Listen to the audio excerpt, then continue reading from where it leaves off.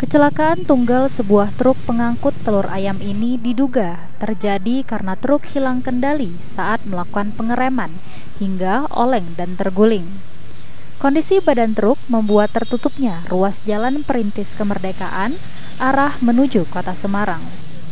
Muatan telur ayam pun berserakan di badan jalan dan sejumlah warga tampak memindahkan muatan truk ke tempat aman agar truk bisa segera dievakuasi.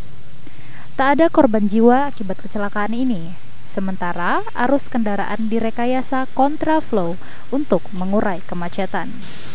Tim Liputan Kompas TV Semarang, Jawa Tengah.